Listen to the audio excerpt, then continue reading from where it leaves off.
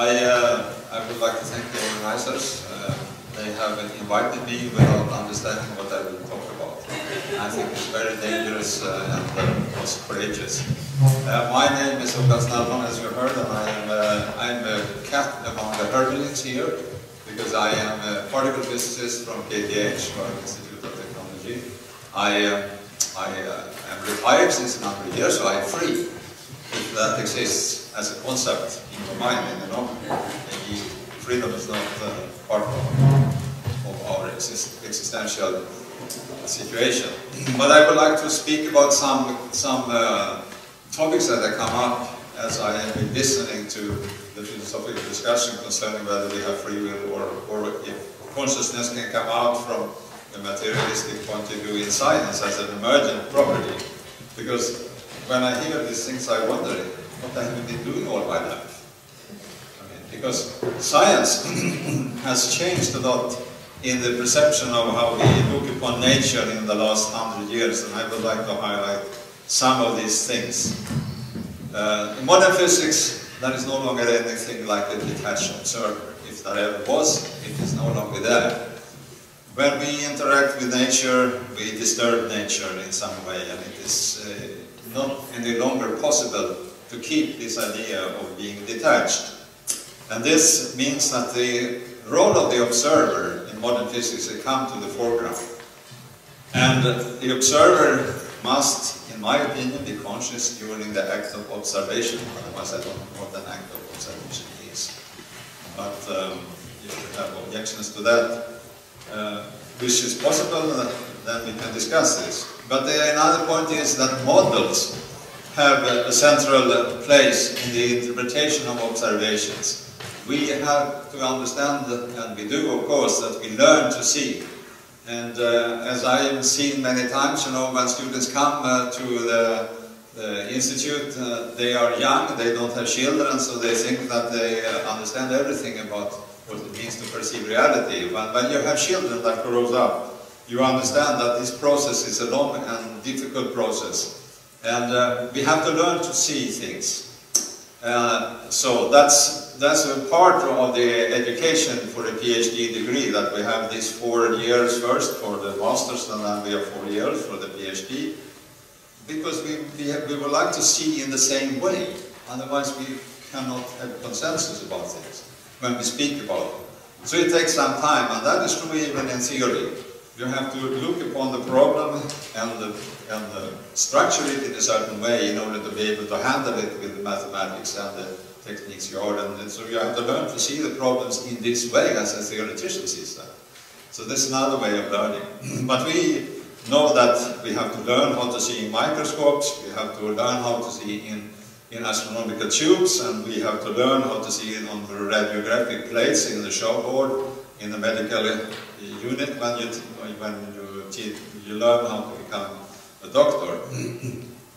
but but uh, this uh, this uh, understanding of how we look upon nature has also come into focus when the Renaissance came and and introduced the idea of causality as a fundamental principle of how to look upon the world. I have a funny uh, memory of my daughter when she was three years old, when she started to learn about causality, because in the beginning it didn't come, because she couldn't separate causality from correlations.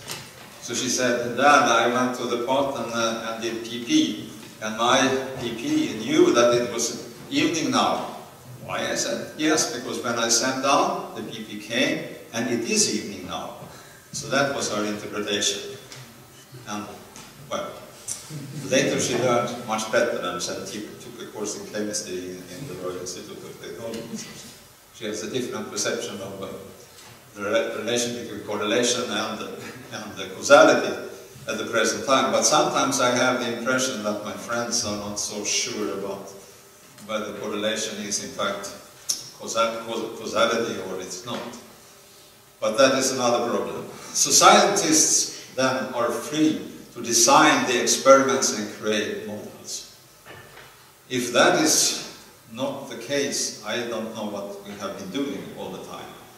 So, as I mentioned, you know, this has become very central, and the, the point is that uh, metaphysical principles are also actually models. This, I think, came to a, a big shock in the last century because we had been uh, used to for several hundred years of Newtonian metaphysical ideas concerning absolute time, absolute space, matter, and uh, of course causality, and his three laws of mechanics that were so enormously useful and gave so many results that when Einstein came and said that maybe we should change the principle that is a metaphysical structure of how we are, we are perceiving nature and modify them to find a better way, which I used to call the framework. So these metaphysical principles constitute the framework, and inside this framework you can then propose models for various systems, and then you can solve these models, and then they make sense. They make only sense inside the framework. But once he found out that there might not be any absolute space and absolute time and so on.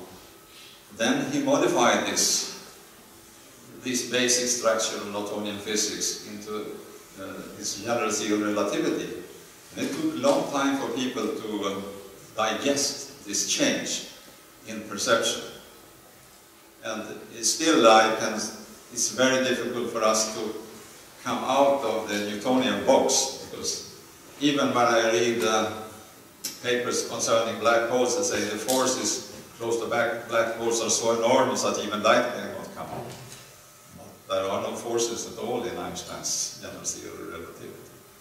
There's only curved space, time, space-time. So the language doesn't really catch up with the new perception. In quantum physics also, Niels Bohr emphasized the importance of the free will to decide what kind of experiment you will do when you interact with microsystems on the quantum level. So that came out in, in, in the, the, codification of the complementarity principle of Copenhagen School.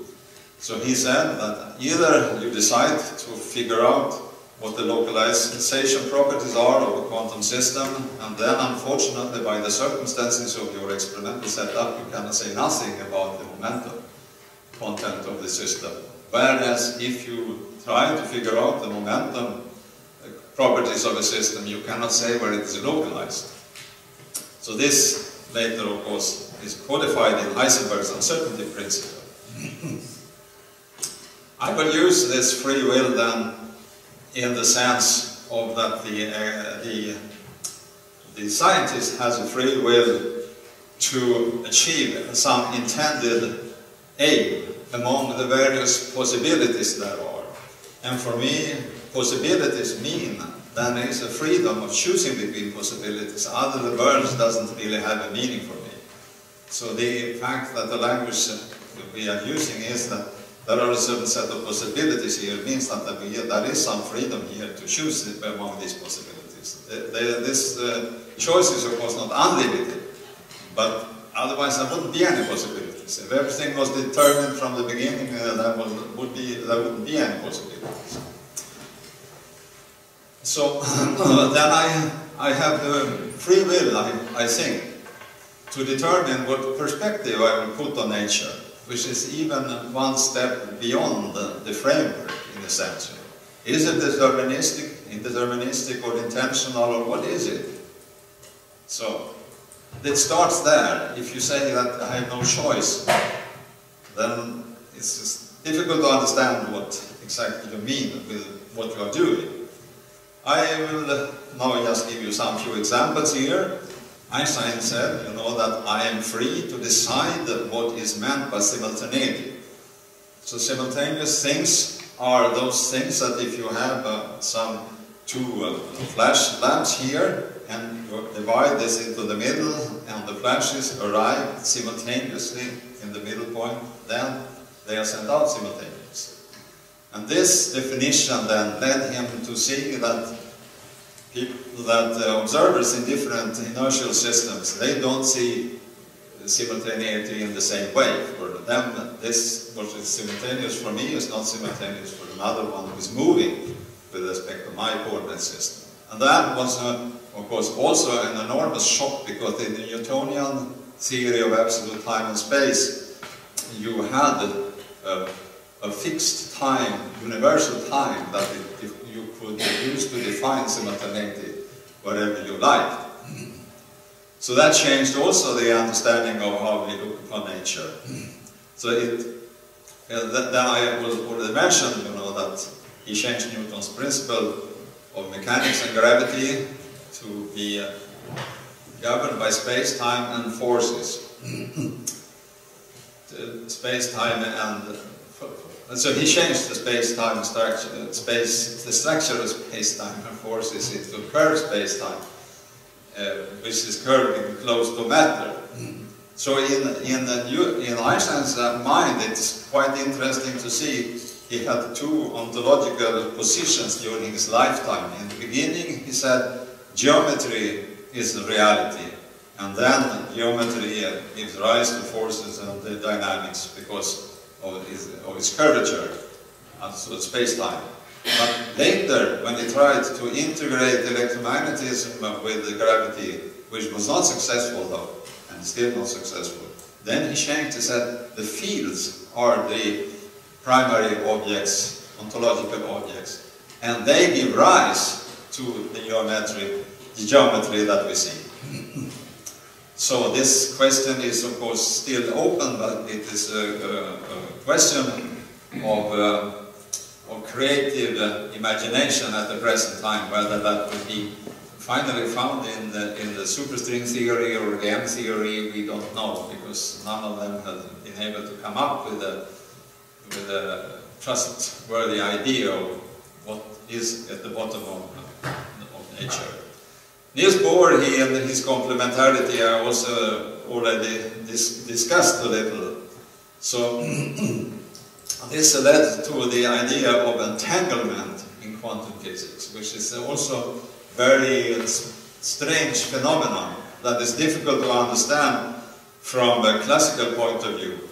So quantum systems that have been in contact with each other and they can be prepared so that they are entangled with each other. And this entanglement can, is not dependent on the extension of the system at all, and it's a progression in time if it is undisturbed. And there is an experimental demonstration over at least uh, 730 kilometers distance that entanglement is a, is a reality in quantum phenomena. so I would like to use this here you can see Pauli and Bohr, because I have come back to Pauli in a bit wide by the time.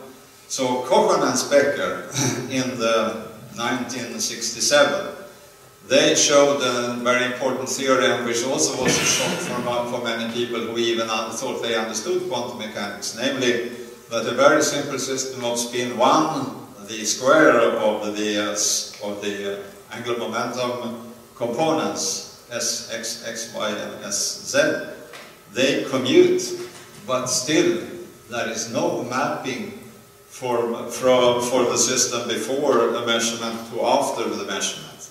This mapping does not exist because there is no domain or values. System does not show up any values at all that we can talk about. So that is, that was also some kind of a problem because what, what are the elements of reality then for a quantum system if we cannot talk about them before the measurement?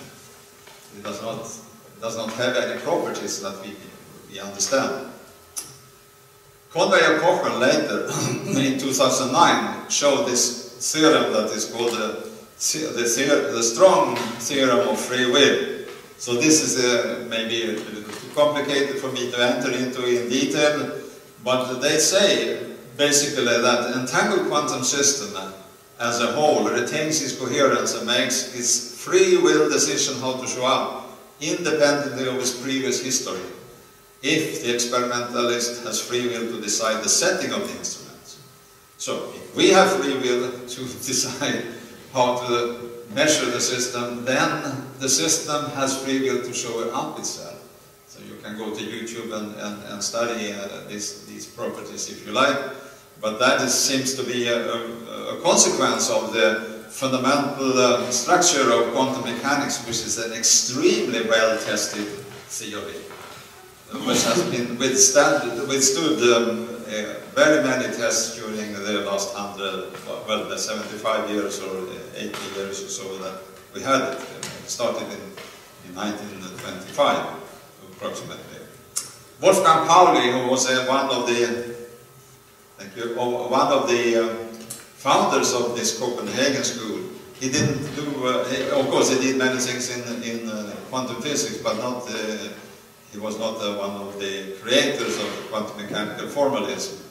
But he said that there is no longer any individual causality in nature, only statistical causality, because we cannot in any way predict what happens with a single experiment. Only an ensemble of experiments can be carried out. And then the theory tells you what this ensemble mean value should be and how the distribution should be. So that is what the, this so-called wave function, when you square it, tells you about the probability and that is shown then you do many experiments, but any single experiment is impossible.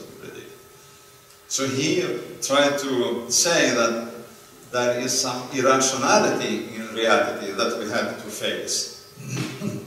and we could look then upon this Heisenberg uncertainty relation, which comes out from the formalism directly, that there is some kind of irreducible rest of freedom for quantum systems. You can't squeeze them, uh, because the, in classical physics they, they can be described by a point in phase space. So phase space is the space of momenta and positions, so six-dimensional space for a point particle. And that is a point in this space tells you what the state of a particle is. It tells you the momentum and the position. But in quantum physics, there is no point. There is an extended area of the order of the Planck's constant that it looks as if it is uh, in a comprehensible fluid. So if you press it in this way, it goes out that way. If you press it in the momentum way, it goes out along the other line. So you cannot uh, reduce that, that uh, amount of freedom that the system has. So how shall we interpret all these things in from modern physics? So that could be a superdeterminism, or is it an intentionality in nature? Or there could be some other interpretation too. I would like just to, to mention them. If superdeterminists exist, then I live in a strange and absurd world. And uh, for me, this is very difficult to accept. So, if then the natural thing would be for me, that would be to say there is some kind of in, in intentionality in nature, and that would be very much in line with the irrationality that Pauli, Pauli was talking about. He was in fact discussing this in, in the same terms. And there, are, there is a nice book by Laurikainen that has tried to expose Pauli's thinking about these things uh, in his correspondence with Markus Fierz, which is uh, available in the CERN library. The idea of panpsychism then comes up as a, one of the possible candidates, and I understand that I put my head in a, uh, in a not the viper's nest, but almost when I mention that. But in some sense it doesn't contradict the mechanical aspects found in nature, because if you have strong willpower, it looks very mechanical. So if we understand the stratification of this panpsychic idea, from elementary particle all the way up to uh, the universe itself, passing through the solar system and the galaxy, we can understand maybe that these uh, conditions that we are under are, are determined by the willpower of all these higher levels in this stratification. But I think also that it shows why mind can act on matter, because because that is, uh, for me, not a direct problem, because I know I use that all, all my time, but it seems to be a philosophical problem. It's possible also to understand that there are laws of nature, because these laws of nature, uh, they would come out naturally as tra almost traffic rules. If anyone who thinks that laws of nature are very tight should go into the laboratory and see how difficult it is to try to verify them. So the real miracle actually is that several of these laws can be written down on half a piece of paper and be applicable to millions and millions and millions of cases.